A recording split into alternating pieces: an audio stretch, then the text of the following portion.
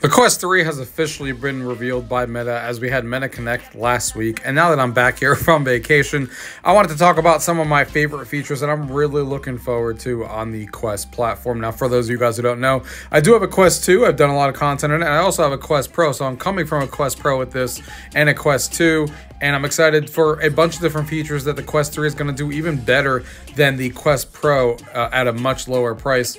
And obviously, as we all know, the Quest 3 is releasing on October 10th, starting at $499 for the 128 gigabyte or $649 for the Oculus Quest 512 gigabyte. So we have a lot to digest here on some of my favorite features that they're touting, and I can't wait to talk about them with you guys. So let's go ahead and get into the video. Gaming tech, eating brekkie is the gaming tech. Going for a brekkie is the gaming tech. Gaming tech is the gaming tech. Gaming techie. So one of the first things that they showed off in MetaConnect that I was super excited about that's being obviously all the talk about this headset is the mixed reality pass through. So of course, this coming over from the Quest 2, this is going to be full color pass through. We're going to be able to play games like this, and it's going to be able to be anchored thanks to the depth sensor that is now included that wasn't on the Quest Pro. And now when you play a board game, say on your table, or a digital game like this, like that's coming out, you're going to be able to actually see it in front of the table and other players who play locally with you, if they have their own headset, it's going to be anchored to the exact position. So if you have a table, that's exactly where it's going to stay and where it's going to be. And it's going to bring, uh, obviously, the fact that the resolution is much higher, the quality of the pass through is much, much better than anything that was on the Quest 2, and even better than what was on the Quest Pro as well uh, the, the Quest Pro, even though it was better than the Quest 2, this is going to be substantially better even than the Quest Pro was as far as resolution and how clear it was. And just look at the games that are being touted and all the games that are getting mixed reality updates. Being in the Stranger Things world, you know, I'm a huge fan of Stranger Things having like a like something appearing on your wall where you're seeing the upside down on the other side and, and monsters are coming out of the wall. It's really going to add to, you know, some immersion of games. And yes, I still love my fully immersed VR games and I don't want those to go away, but mixed reality definitely adds to you know, a supplement of that and, and, be able to add new experiences that would be better in mixed reality if mixed reality was actually good, if the pass through was good. Um, you know, things like you know, with the depth sensor now, you can map the whole entire play space. You don't have to like map it every time you get into the headset. It will just know the objects around you, and it will be able to put things behind objects. Like if you have a couch, a monster that's coming out of the wall can hide behind your couch thanks to that depth sensor and stuff like that. So there's some really cool stuff that I'm excited to see and can't wait to get my hands on for mixed reality. You know, board games, obviously, as a board game fan, comes to my mind immediately. Uh, but then there's also things that they showed uh, like like watching TV where you can actually anchor it to a position. So if you had don't have a TV in your living room, you can anchor it right there and you can watch your sports. You have all the different stats going all over the place just like this, and you could walk around your room, but it's anchored to that position on the wall that you actually have it in, which is fantastic. And being able to watch sports while you still feel like you're in your room and being able to talk to other people, but you know see this. And then of course they have the Xbox Live Game Pass app that's officially coming that they've been talking about since last year, where you're going to be able to play all your uh, hundred of over 100 Game Pass games right here on a virtual screen, right in pass through mode or in a virtual area, which is fantastic. And I can't wait to try that as well.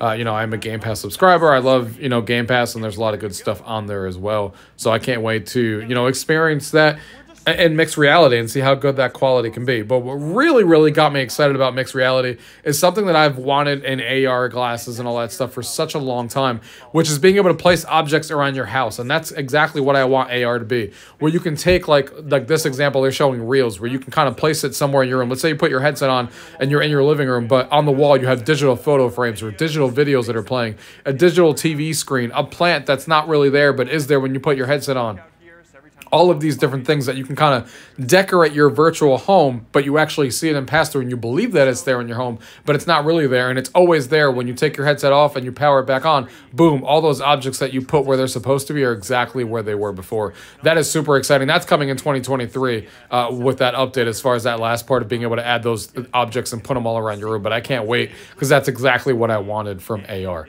And then, of course, there's the fact that, you know, games are going to look so much better with these pancake lenses that are being up on there, the 2.2 resolution per eye. That's an increase from the Quest 2 and even over the Quest uh, Pro. And obviously the Snapdragon XR2 uh, Gen 2 chip, which is obviously much more powerful than what's on the Pro and, and over two times as powerful than the Quest 2 was.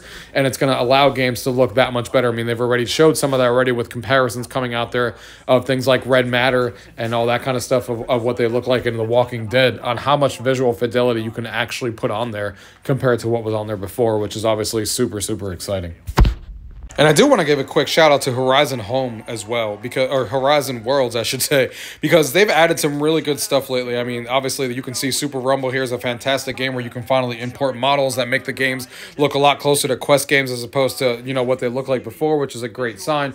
Games like Citadel that they've just released was their second one in that same vein and also really good. But Horizon Worlds, watching the Meta Connect, if you guys didn't get a chance and you have a Quest 2 already on watching the Connect in Horizon Worlds, I would definitely recommend doing it because they added, they recorded it in 3D and it really shows what 3D can do when it's actually done correctly with the 3D perception on the VR headset. It was recorded it has really good quality. The environment that they did, I think, is super cool in, in Horizon Worlds and it really showcases what you can do when you put your thoughts and details into these events.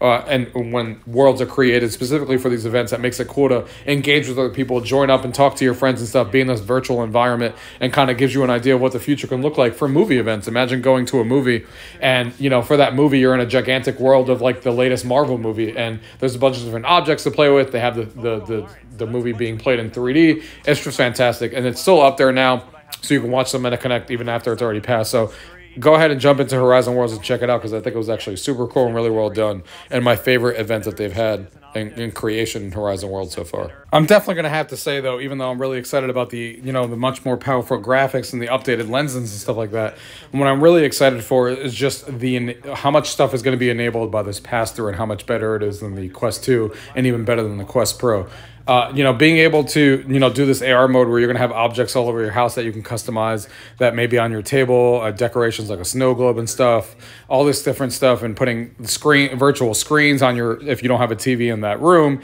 uh, little trophies for different games that you may earn. So you have like a trophy everywhere for all the games that you played all of it sounds amazing, and I can't wait for that stuff to roll out. But even the mixed reality games are super, super exciting uh, that they're enabling with the powerful nature of mixed reality, and I can't wait to see what developers do with it. There's already, you know, there's already a ton of stuff being out there that's exciting as is, and uh, I can't wait to see what the future holds for that stuff.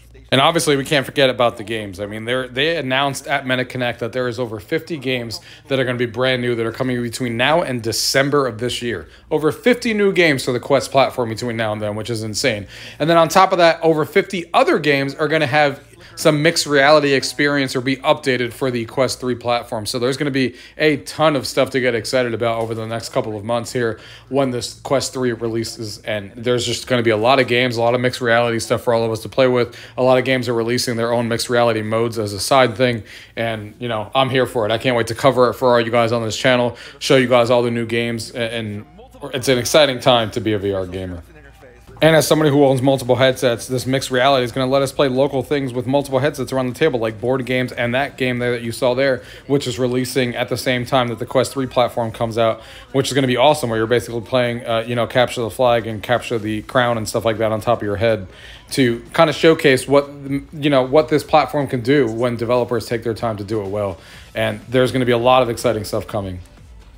But we all know what people want is better graphics. They want the, the, the Quest system to be closer to PCVR. And as you can tell in this video feed here, just look at how much better these games look like on the Quest through on the Quest 3. They're they're so much more detail. There's a lot more lighting effects, a lot more things going on. And this is early days. We all know that they that they have only had their hands on the Quest 3 for a little while. Imagine how much better things are going to get along as Quest 3 keeps getting more updates and more things going on. So it's great that the Quest 2 can still play these games at lower resolution and and you know without all of these effects. And then on the Quest 3 we get a more PCVR like experience uh, with these games. And from the early impressions people are saying who have played Assassin's Creed, who have played some of these games, it looks like a low end PCVR. And that's an outstanding thing for the fact that this is an all in one headset, that we're at the point where we're basically almost getting low end PCVR graphics on a standalone headset like this, which is super exciting. I think I've rambled on long enough here for all my thoughts on the Quest 3, and I'm super, super excited for all of it. Obviously, I have my pre order in there. I got the 512 gigabyte on order. I got a bunch of the accessories as well, so I can review for you guys, like the Elite strap with battery. I got the new foam cover. I got the, the dock and everything, because obviously I want to review this all for you guys and see if it's worth your time and money. So there's a lot of good content coming your way uh, as far as the unboxings, reviews, gameplay, mixed reality, all this kinds of stuff that we're talking about in this video. So I'm excited to dive in that with you guys. And if you guys have any questions before then, of course, feel free to leave those down below. If you guys are thinking about pre-ordering and you have a Quest 2 and all that kind of stuff and you have some questions, feel free to let me know down below. Other than that, guys, like I said, I'm excited about a lot of this stuff. Pancake lenses, 2.2 resolution, uh, much better uh, mixed reality gameplay. FOV being 110 degrees, which is close, which is a little bit higher than the Quest Pro, or right around that area, which was better than the Quest 2 was uh, you know, being more comfortable, being 40% slimmer, all the different stuff that they've been talking about. All of it sounds exciting. But for me, mixed reality is sitting at the top of my list right now to see how much that can change the games. And of course, having over two times more powerful graphics chip inside means that the baseline for Quest games is changing, which means we're going to get a lot more graphic fidelity in these games and a lot more that these developers can do to bring games on the Quest platform. So, other than that, guys, thank you guys for watching. Hope you guys enjoyed this video. And as always, leave those questions down below. If not, thank you for watching. Till next time.